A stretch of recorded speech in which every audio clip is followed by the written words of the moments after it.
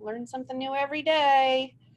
I hope everyone had a great weekend. That was like the perfect, most beautiful weekend we could have asked for. You deserve after last week. And let's see, we're going to start with a video this morning.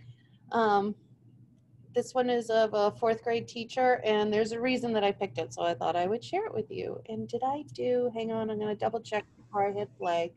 So I'm going to stop my share, and then I'm going to share again because I don't know if I had the sound turned on. I did not. See? Feels like a Monday right now. There we go. Okay. And play. The COVID 19 pandemic is having a big impact on kids. With schools shut down, their sense of normalcy has been derailed. Remote learning has become the new norm, and while that definitely has its challenges, educators throughout Maine are finding creative ways to engage with their students. News Center Maine Shannon Moss introduces us to one of those teachers really making a difference. New pair of pajamas. Jen Merrifield teaches fourth grade at Falmouth Elementary School.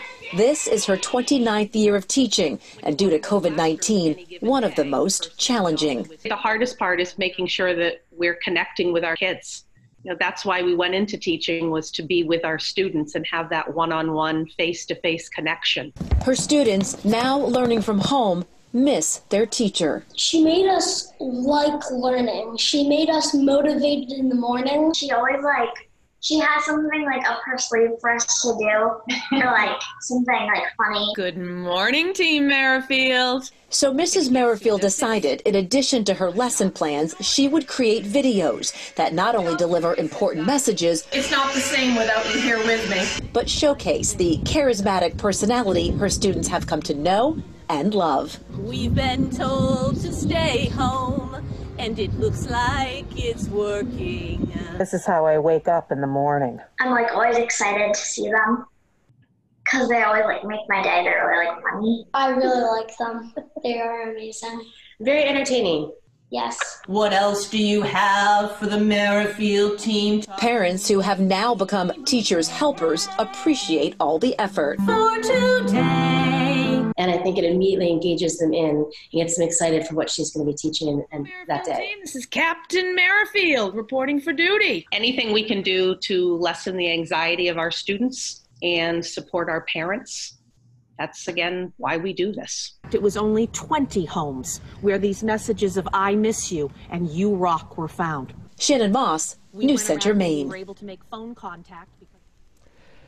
And Mrs. Merrifield says now that remote learning is going to continue for the remainder of this school year, she's going to have to up her game and come up with a lot of new ideas for her videos. All right. So I'm not expecting any of you to sing. Well, of course, unless you want to or, or you know, you're moved to do so. I love that piece because it talks pretty much how you kind of have to turn up the volume on who you are. And we have no problem being silly or being ourselves in front of our students in a classroom where there's really nobody else except for the teacher and the class that has built that culture. So to build it online or to build it in a combination of having students in the building and students at home and switching around is going to be a challenge. And you might have to like I said, turn up the volume on who you are so that that comes shining through because that's going to make all the difference for your students. YouTube is a great way to be able to do that. And whether or not you feel comfortable videoing yourself, I certainly don't expect you to put yourself on your front lawn like a news reporter, but you'll find what it is that works for you and what turns up your volume so that your students can hear you loud and clear. But YouTube is a great place to be able to house that and also to be able to share other videos or other resources that you find to be useful for your students. So what we're going to do first is I'm going to head to YouTube, which I never do in front of students. um, let me hit escape here to get out of my full screen. I there's, oh, and I'm going to add something to my list that I didn't even think of that I want to make sure that I share. I've shared it with many of you, but in case I have missed anyone, I'll make sure. Um, I never, just like you never Google in front of the kids, you never YouTube in front of the kids.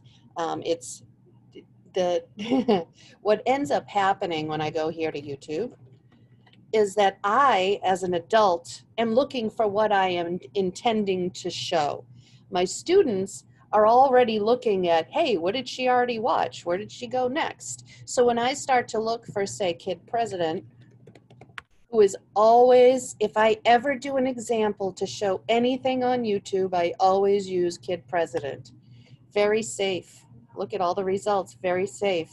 So he's my favorite. And even though the, his videos have been around for quite some time, um, they're still very much worth sharing. But what will happen is as soon as I open a video, Number 20. Thank and hit pause, again, my students are not necessarily looking here while I'm getting ready to make that full screen. They're looking over here at the next suggested videos. They might be looking down here at the comments. They're looking at everything else and they take it in a lot faster than we do. So my advice is never to YouTube in front of the kids. Find those videos that you want to be able to share ahead of time. Or if you're like, oh man, I forgot to preload that, I want to be able to show the kids, then certainly do it in another screen without the students being able to see it. So one thing that I want to be able to show, and it's not coming up right now, I don't know if it comes up on every video or not. Some of them might already be classified as okay. But what you'll notice on some videos is somewhere in here, it will say not approved for Mashpee schools, or it will say approved for Mashpee, schools. And maybe because I chose a kid president video, like his are already okay in general. But if there was one that was a little bit iffy, like I know I was um, looking up funny teacher videos for some of these video breaks. And so let's say the Holderness family, who are very Hey, how you doing? there we go. So the Holderness family is not really for all students because they're funny and not always appropriate. So here it is. So it says video not approved for MPS PK 12 and I could approve it. This isn't for teachers. Like I'm not approving it for teachers. I'm approving it for the kid accounts in our district and it's for all of them. It's for K to 12. So if you have a video that you want to show your students, make sure ahead of time that you've hit approve if it has an approve button. They're not all going to have this approve button if they're not appropriate. It, or the ones that have approved buttons are not necessarily inappropriate. Let me put it that way. But you want to make sure that you've hit that. Otherwise, your students won't be able to see it. And that's something relatively new. It came about at the same time that YouTube came out with their for kids, not for kids. You probably received a few emails from YouTube saying that you had to categorize your videos for kids, not for kids. It was around the same time that the approved came out. So only one person. in- Um, yeah. Does, does that take off the side video type things? If you actually approve it for Mashpee Public Schools, does it take all those videos off the side? It does not. I do have the settings right now for students. I'd have to test it again because it's been a while. Sometimes those settings we do like set it and forget it. I believe that right now we have the settings shut off so that you can't see the comments. And it might be that we have the like um re- not requested recommended videos might not be there, but I'm going to give you another option either way that you can use. Good question. So are those, um, if it says video not approved for MPS PK like this one does? Yep. Is, the- are there some that are either channels or people or site, YouTube sites or whatever you want to call them that are 100% good? Like they're approved or just, it or just the opposite, like I wouldn't trust their system. There's like millions and millions of videos on here. So the only system I would trust is me watching a video all the way through before I decide if I'm going to share it with my students. It's just, I would not trust their saying that this is a video that's not approved and then have it be perfectly fine for kids or vice versa. Like the kid president didn't have one. So I could assume that it's okay for kids, but I would still want to watch it. There might be one word in there or one phrase in there that's something that I just wouldn't feel comfortable showing, no matter what video it is. So it's just a guideline. this might be coming up in your tutorial here, but is there a way to um, put them in folders, different folders for different curriculum units? Yep, that's what I'm gonna do. Look at you, ready. All right, so let me just show you what you can do in order to show a video um, that won't have all of this stuff around it. And let's get away from the Holderness family, who they are pretty funny. and see, yeah. Um, this is why you don't Google in front of or YouTube in front of your kids because I've spent so much time looking for funny teacher videos that, yeah, let's go back to Kid President, shall we? We shall. So here we are, Kid President. Thank you. You're welcome.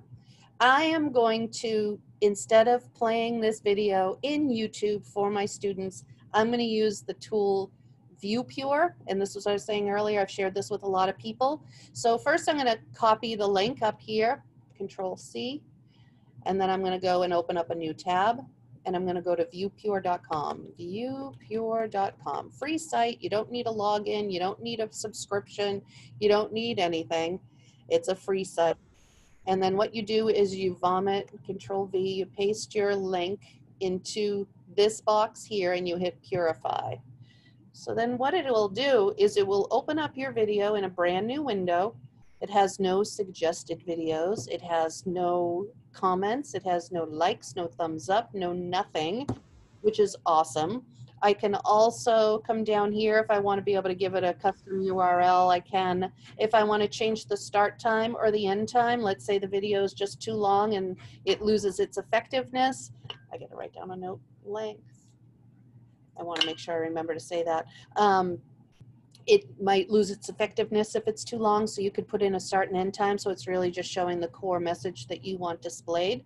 And then what's really cool, well, you can do a few things. You can add to playlists or embed the video or generate a QR code. But at its simplest form, which I've used for years, is now I can grab this link up here, and that link I can copy it and put it into Classroom or put it into a Google slide or put it into whatever it is that I want to be able to show.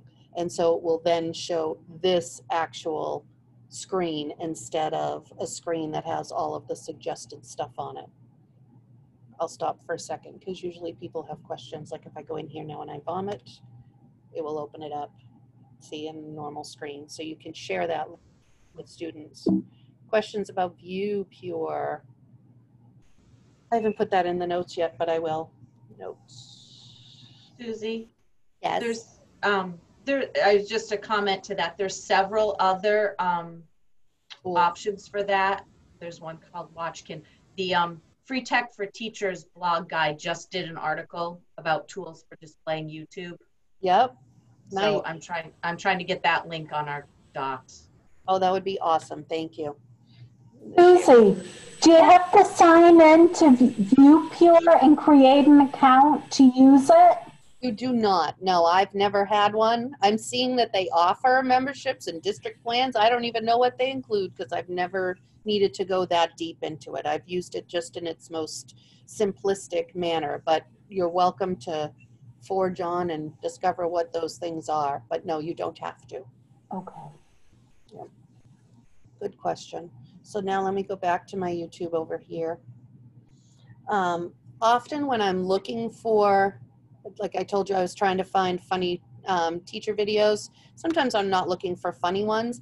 You can see teacher Google site funny because I was teaching Google Sites today. So let's say that's my search. And immediately I'm given like a 25 minute video, a four minute video, a one minute video, like 10 minutes. For me, I don't have time to show you a 25 minute video. So I always go up to the filter here and I always, always, always choose for duration shorter than four minutes. So now it's going to give me results that are going to be quicker. It makes my search a lot easier when I'm trying to find something, which if I remember right, I never found anything through this, um, through this particular search. But you can also go in to find things that are more recent. I was doing that a lot when I was trying to find like back to school stuff for 2020 because back to school in 2020 is totally different. Or this year, which is going to include more resources that have to do with remote or hybrid or blended learning.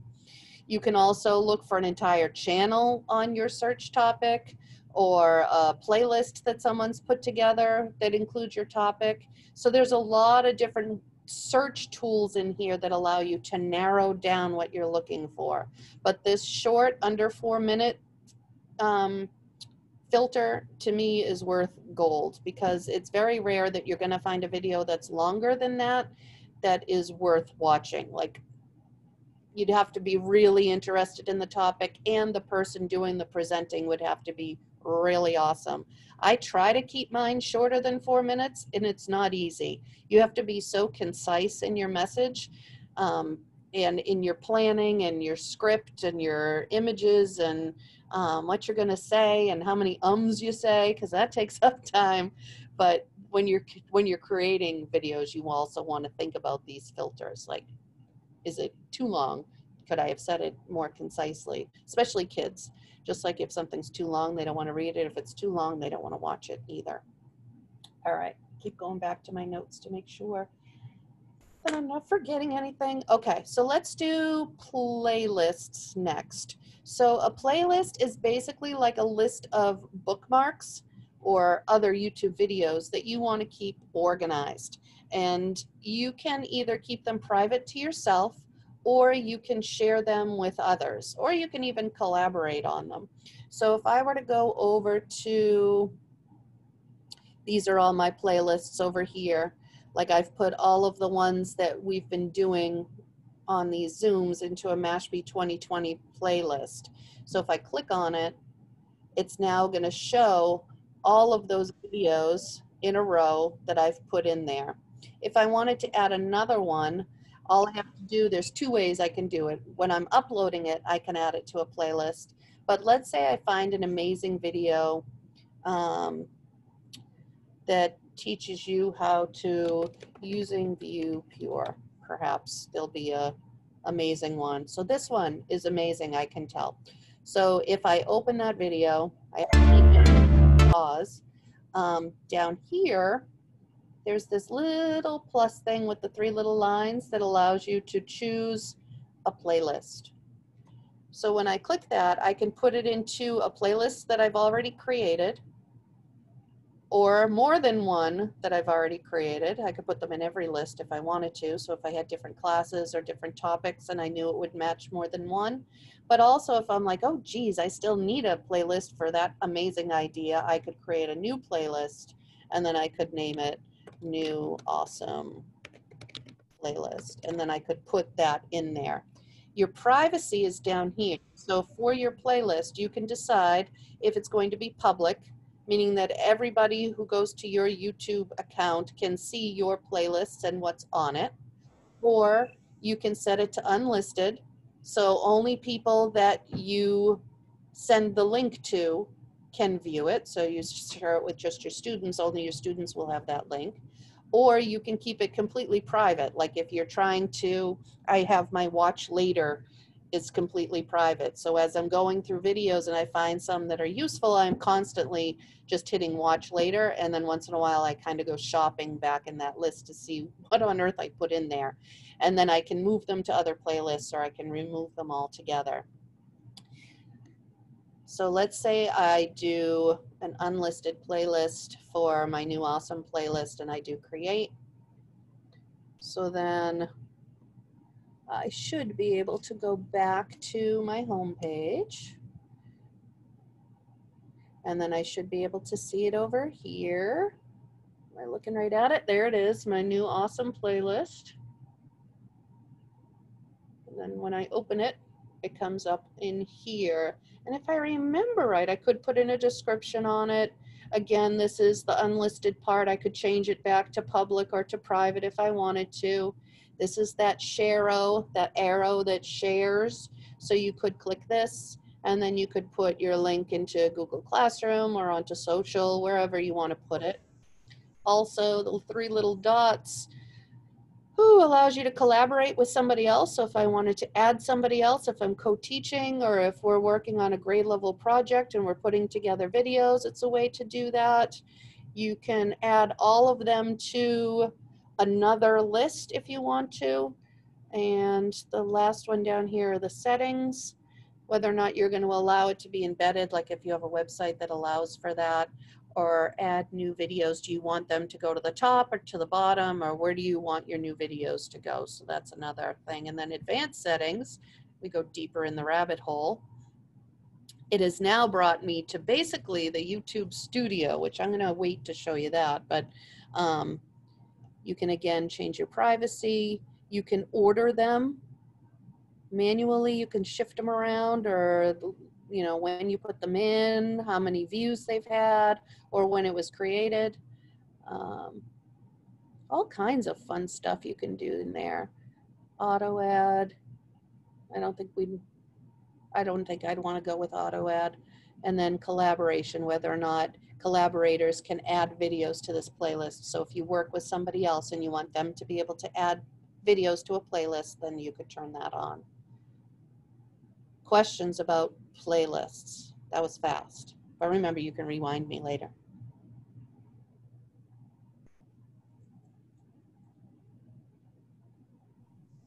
There's nothing in chat right now, so. All right. I was counting backwards from 10. My wait time is awful. Okay. Suzy, I have a question here. Oh, sure. Um, when you go to your, uh, you- you're, you're finding a link on uh, YouTube or wherever. hmm All right.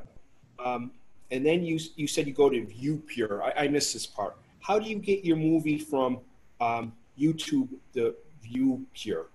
So let's say this is the video, and let me go to it. Um, there. Let's say this is the awesome video.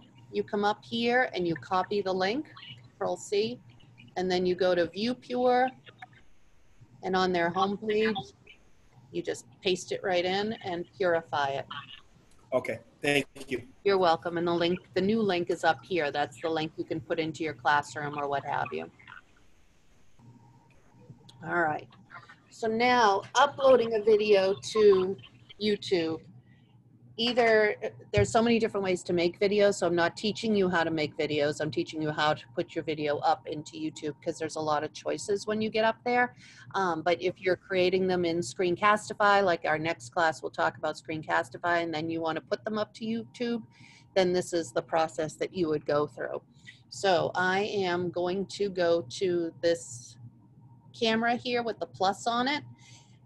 If you've never done it before, and I'm going to select um, upload video, I could go live, but I'm not going to.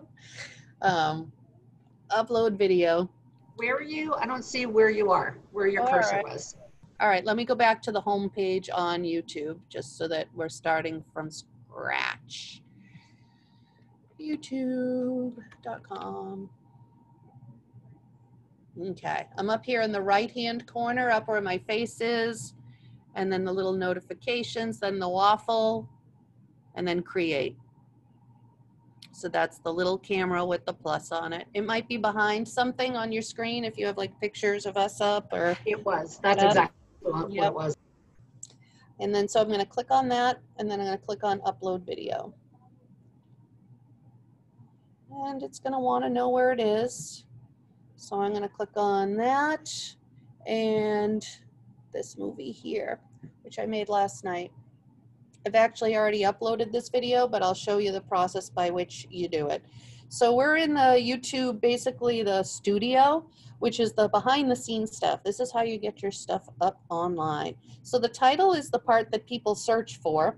I've been using for consistency on all of these courses, Mashpee PD with a colon, only because if you did a search for them, they'd all come up at once, probably with all the police department stuff, um, and then whatever the title is.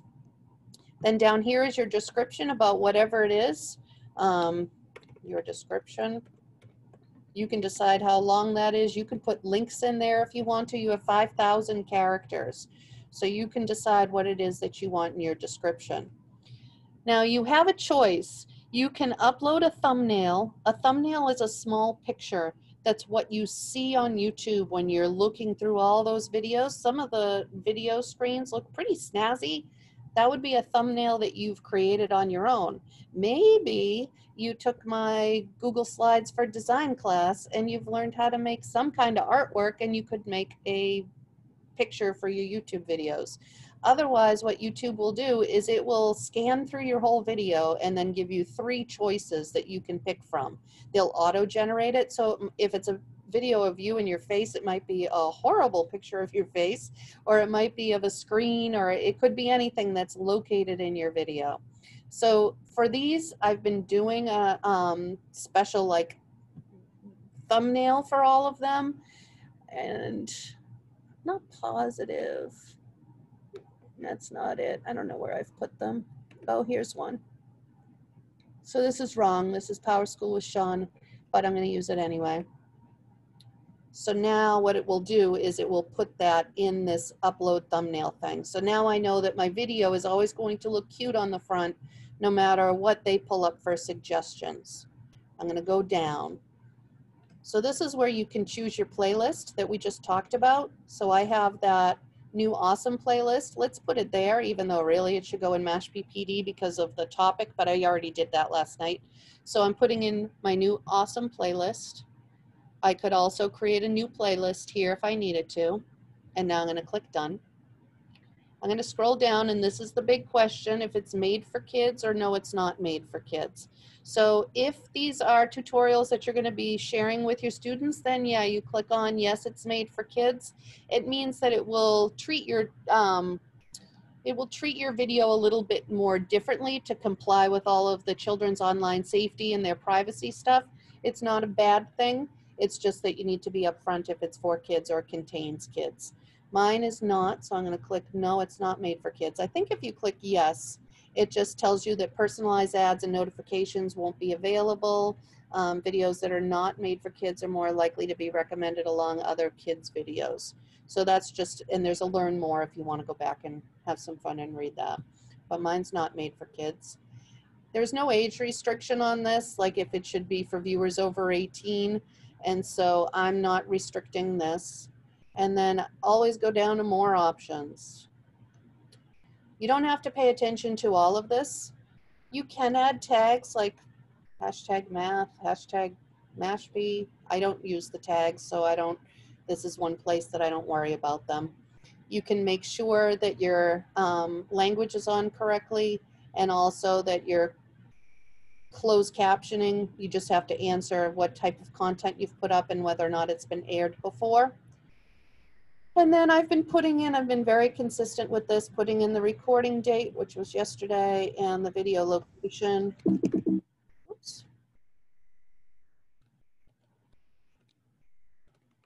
Which I was at home when I did it. There we go. And I leave the license alone. I do allow embedding. I do allow all of this. You could decide that you don't want to. Embedding means that other people can embed it on their site. I leave my category as education, but I always double check it because sometimes it's different. And then you can decide if you want to allow comments on your videos or not. You can either allow them or you can hold potentially inappropriate ones, or you could hold all the comments until you review and approve them, or you could disable them altogether. You decide what you want, and then you can sort the comments by newest or um, I think top means most popular and then you can decide if you want to show the thumbs up, thumbs down or not in your video. Lots of choices. So it's still uploading and it's already given me the link. Like that's one of the first things you get. So usually I'll hit copy just so now I have it on my clipboard, but I'm gonna hit next. This is more the video elements for the most part is for people who create videos, you know, for for a living or for money or for that type of thing, like professionally. So if you get really good, you might want to visit this a little bit more closely. I have not. Next page is the last page. This is when you're deciding if it's going to be private.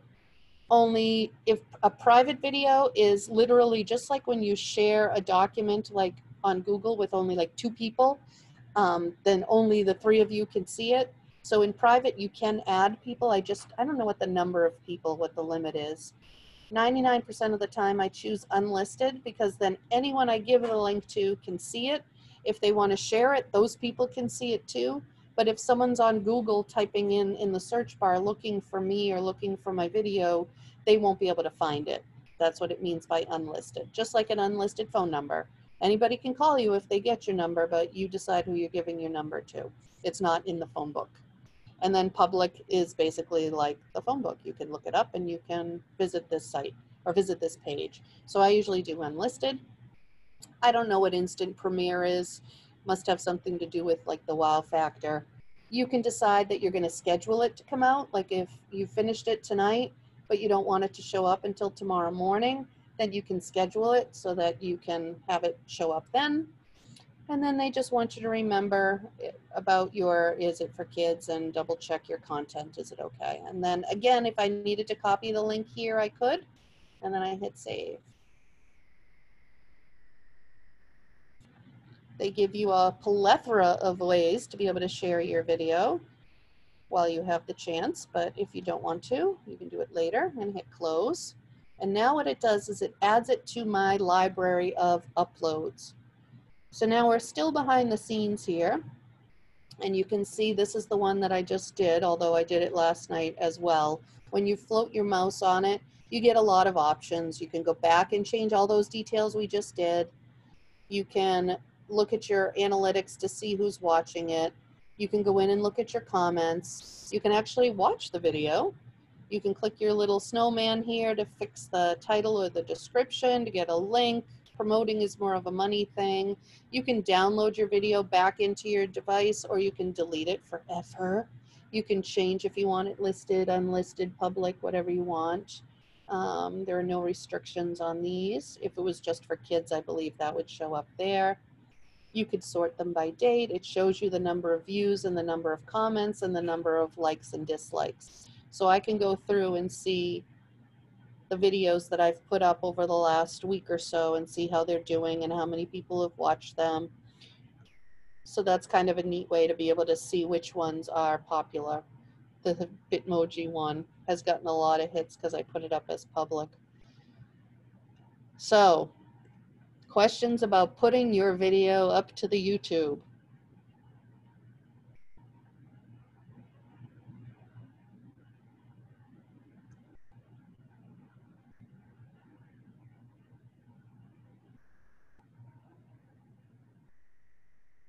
All right. I'm going to do one more thing with you, and that's basically your channel. So I'm going to go back out to the regular YouTube. Whoops. I'm going to do it this way youtube.com.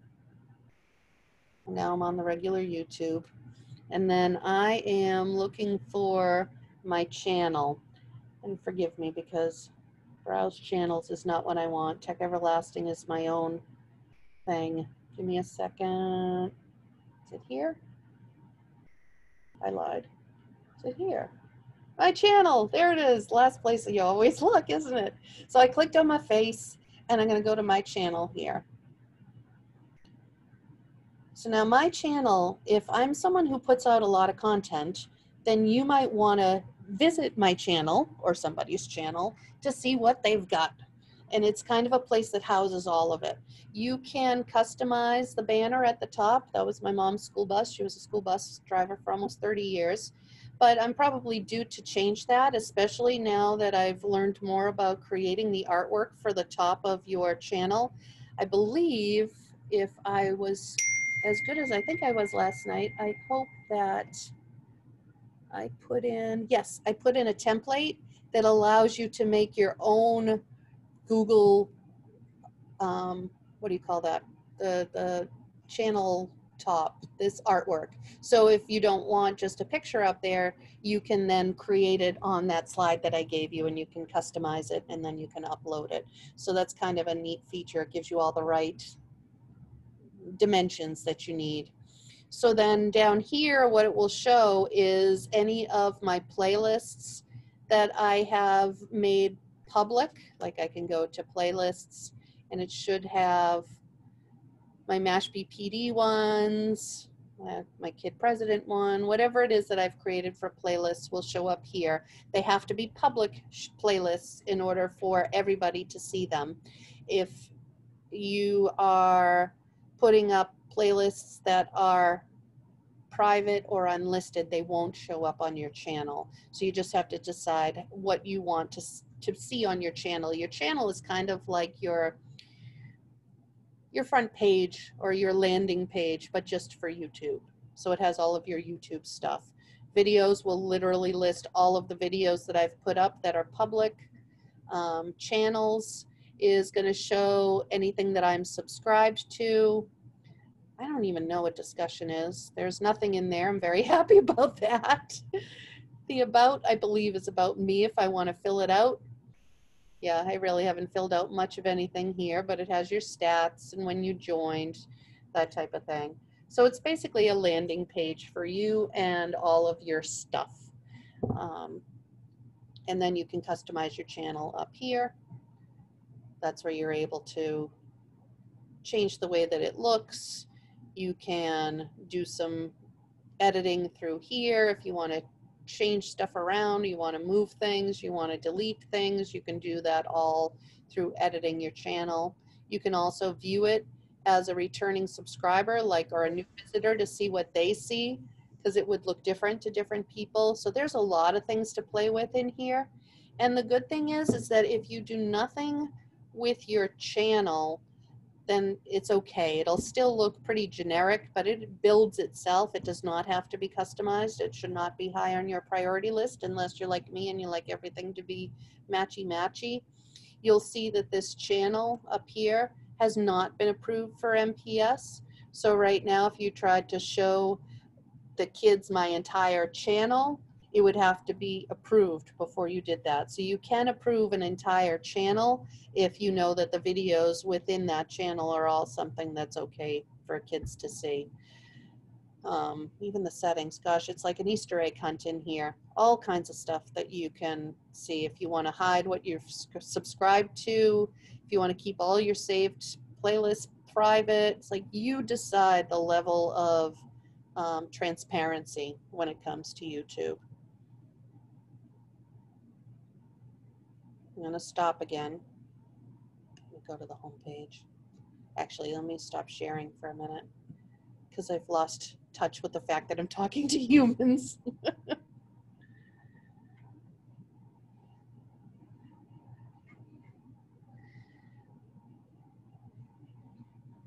okay. Everybody still good? All right.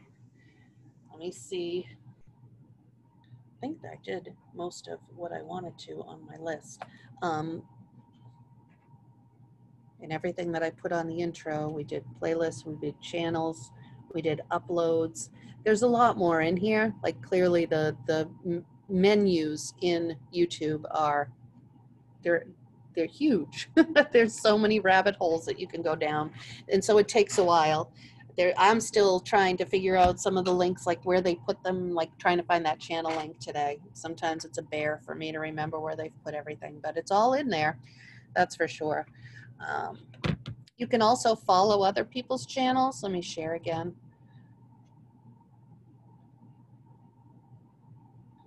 Share. So if i do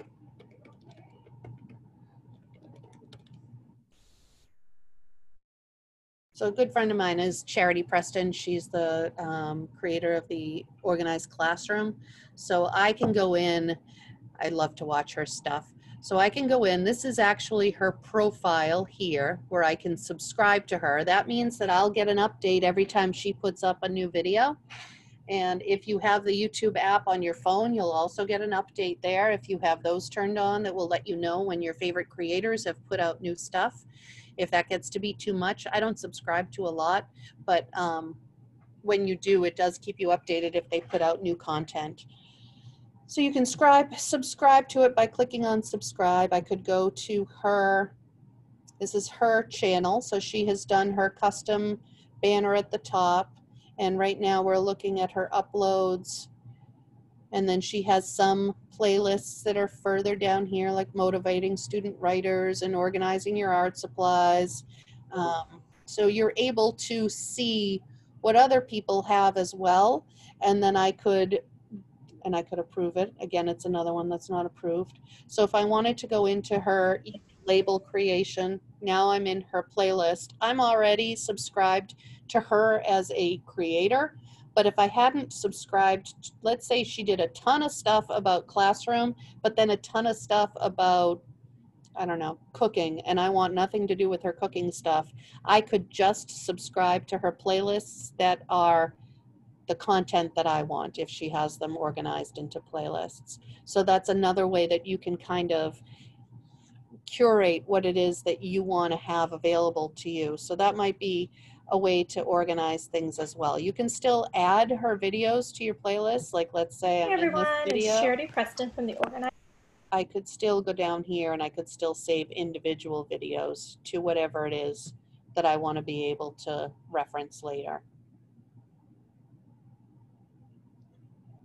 Trying to think if there's anything else mind blowing. We're in the last few minutes because I'll probably transition in a minute. Any last questions for right now? Back, stop, share. So I sent out an email asking if anyone has any cool stuff that they want to share, that I'm going to try and do the last 10 minutes of each class as a separate recording to share new ideas or um, projects that people have worked on or tools that they use that are helpful. So in that email, there was an invite to sign up on a Google Calendar. I, if it works right, you should see the four appointments per day. And when you click on it, you put in your information and then that appointment disappears from my calendar. So what I'll do every class now is I'll stop at 10 of the hour or maybe 11 of the hour. You guys are learning that I'm a slave to the clock. I'm constantly watching it and I want to make sure I stay on time. But what I'll do is I'll give that person co-hosting rights and they can share live. Or if they shared a video with me, then I will share that video and they don't have to do anything. Or if they want to send me the links and the information and enough information that I can share it and give them credit, then that would work as well. So I don't want anyone to feel uncomfortable, but it's a chance for you to share the amazing things that you're doing out there and I'm already seeing it. And so don't be shy about that. So I already have my first my first one today, which I'm so excited about. And I don't even know what you're sharing, but Will, I'm gonna make you a uh, I'm gonna make you a co-host. And this we're starting a little bit early because I know that we probably have some bumps that I'm not expecting. So where is Will? Are you in here?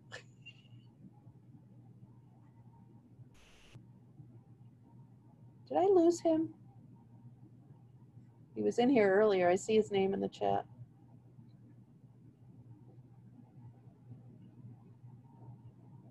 All right, he's not in here. I'll wait another couple minutes if you guys have questions in the meantime. And if not, I have a backup one that I can share.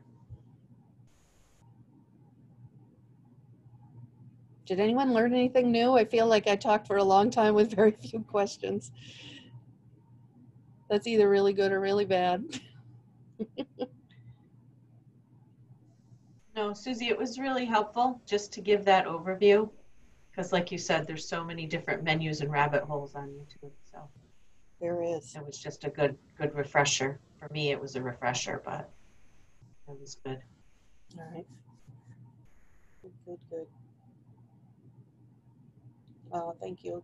Thank you, Liz. Okay. So let me let me reboot, so not reboot, um, refocus. Will's not in here, so I'll have to check up with him and see if he wants a different time. And that means that I'm going to share. I don't even know if he's in here. Let's see. Ben, you are in here. Ben, are you okay if I share your video that you created?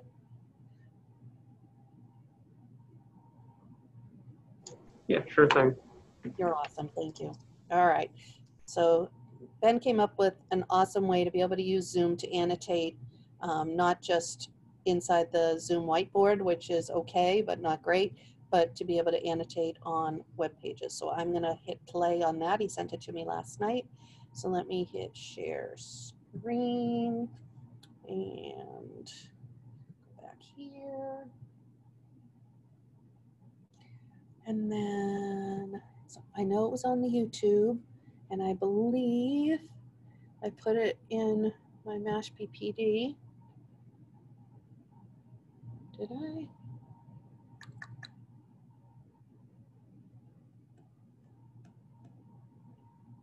There it is.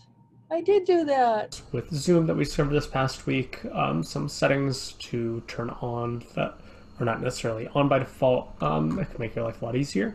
Um, this past week in the math department, we were trying to figure out um, some ways that we could annotate our slideshows um, that would be observable for our students in Zoom. Um, we're running the problem of, you know, when, when we normally present That's me. present a slideshow on uh, our smartboard, right? We would draw it on, on the smartboard. Um, you know, if we use the smartboard tools, um, that would be great and all. Um, but those would not display on Zoom on the share screen. Um, so we, we kind of came up with a variety of workarounds. Um, PowerPoint has like a built-in annotation tool. Um, there are a couple of other things, um, but nothing that really kind of was a catch-all um, and really met met all the needs that we wanted um, and was frankly easy. Um, but we discovered uh, right in the Zoom settings there's uh, some stuff that we can use that kind of will suit uh, the needs of any program that you might wanting to uh, that you might be wanting to annotate. Um, so in the Zoom web app, um, I'm just going to sign in on the website, and I come to this page. Off to the left here, I have settings, um, which will pull up this uh, big long list of settings. Um, I would recommend um, going through this at some point, just to take, you know, 10, 15 minutes, kind of like read, read each one, read the little descriptions, uh, make sure it's set to how you actually want it.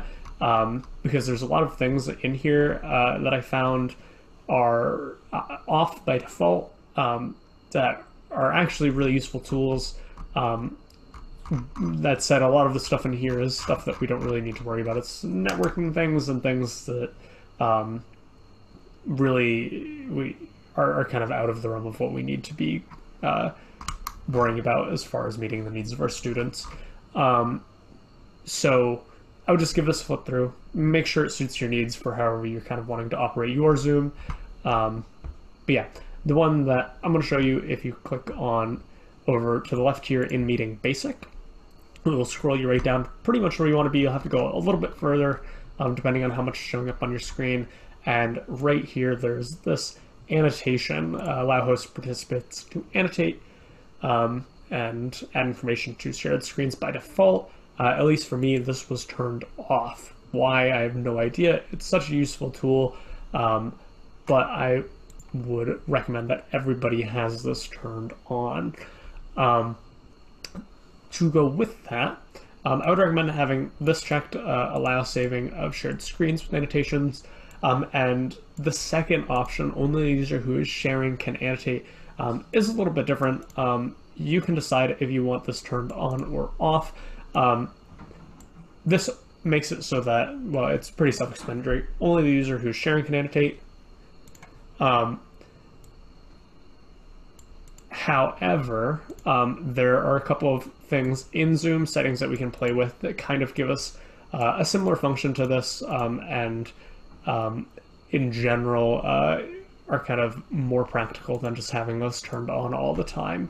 Um, if you have this turned on, um, then you'll run into scenarios where um, you can kind of never have your students uh, draw on your Zoom um, on your share screen. So if I'm presenting a slideshow, um, there are definitely scenarios where I might want my students to, uh, you know, write on write on the screen or uh, type on the screen um, in a similar way to you know how we in the past have uh, had students come up to the board, show their work for a question in math class, right, and kind of have that collaborative work across students. Um, so I'll get more into that uh, and show you a couple of the settings that might work better for this. If you want to have this turned on, I'm sure like that's that's fine. Um, but there are definitely a, a, couple other options when it comes to who can and can't annotate on your screen. Um, so the big important part here, turn this on, um, and I would say have this checked. Uh, this is optional. Um, now, how this actually works and what's useful for, um, let's say I'm presenting this, right, and you know I have my, my slideshow. Uh, here we go, right? Um, I'm actually going to close out for just a second to load up a Zoom meeting. Um, so I zoom here, let's make a new meeting. Hey there I am, hello. Uh, yeah, sure, join with computer audio, great. Um, so I have my Zoom open. Um, what I'm gonna do is actually tab back to my slideshow. Um, to present it, I want it to be full screen. Um, you know, I want to be drawing on this, not on the Google Slides site.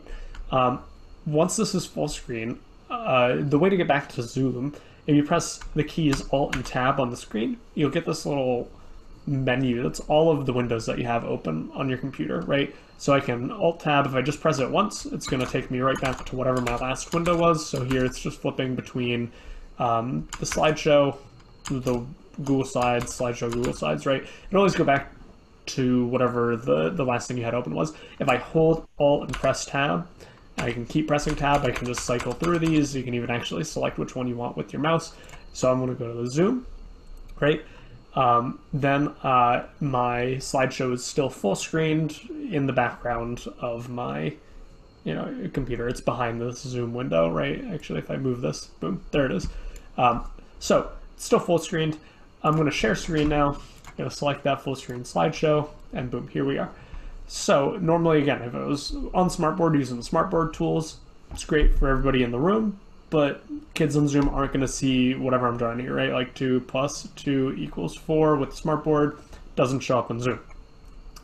However, up here, what we just turned on is this Annotate tool. Gives us this little toolbar. You can actually move it, get it out of the way of the information on our slide. Uh, and this has a whole bunch of things. Most of it is pretty self-explanatory. I'll just go over a couple of things and play around with it as much as you want, kind of figure out what tools are most useful for you. Um, but the big one, there's this drawing tool, right? I can use this to poorly underline things. Um, you know, now I can 2 plus 2 equals 4, and, and all the kids on Zoom uh, can see that in the meeting on the share screen. Um, and uh, part I'm using my mouse to draw these, so uh, not going to be the most accurate. Um, a little bit of a messy handwriting with the mouse, but uh, we'll get the point across. So we have uh, all different colors. Uh, the big thing, like I said, is the straw tool. It's just the pen here. Um, however, right below it, this this is a highlighter. Um, so I can highlight informations right, uh, like you know, perpendicular might be a key part of this definition. Um, the shape tools here are um, mostly pretty self-explanatory. This is just a line tool. Uh, this makes a box, um, a circle. The ones below them are a little bit different though. The dotted in ones, the gradient ones, these are basically giant highlighters uh, or shape highlighters. So if I have that selected, uh, I can highlight a whole section uh, quick and easily. Um, same with the circle, and then these are just filled in uh, blocks. So if I want to block off a piece of text, I could do something like this.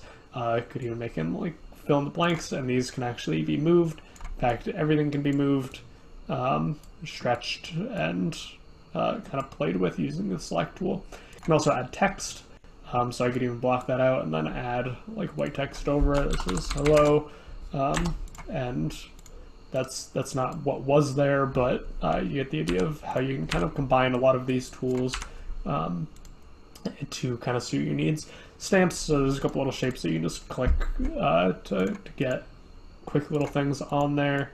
Um, Spotlight, so this is kind of like the uh, the pointer tool that's in uh, Google Slides, um, and yeah, um, I would just recommend get this working. You can hop into a Zoom meeting with yourself, just share the screen, and kind of play around with the tools, right?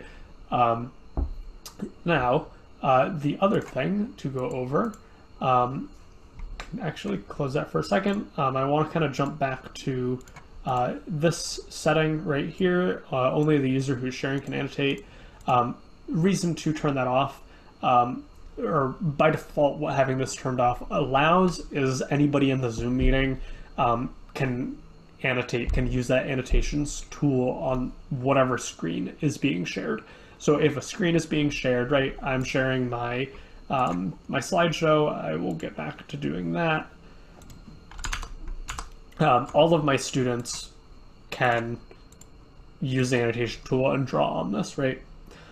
And I want to say, in general, while you're presenting a lesson, that's probably not what you want right? You don't want all of your students just doodling all over, uh, you know, the uh, bisector theorems here while you're trying to explain them.